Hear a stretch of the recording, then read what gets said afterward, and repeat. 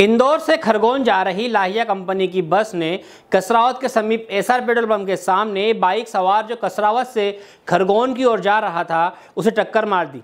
जिसमें घायल बाइक सवार को खरगोन रेफर किया गया। तेज गति से जा रही बस के चालक का बस पर नियंत्रण नहीं रह पाया और बाइक सवार को टक्कर मारते हुए पेट्रोल पंप के नज़दीक पुलिया से जा टकराया।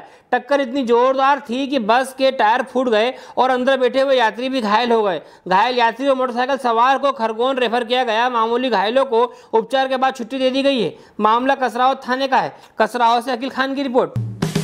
हेलो फ्रेंड्स आप देख रहे हैं हमारा channel S W twenty four news हमारे सारे वीडियो सबसे पहले देखने के लिए आप हमारे चैनल को सब्सक्राइब करें और पास में लगे बेल आइकन को दबाना बिल्कुल भी ना भूलें।